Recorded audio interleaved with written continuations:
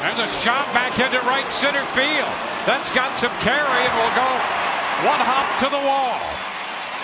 Dickerson has scored. Souza races across the plate on the double by Morrison. A big hit for Logan Morrison to give him 51 runs batted in. And the Rays have opened a five run lead.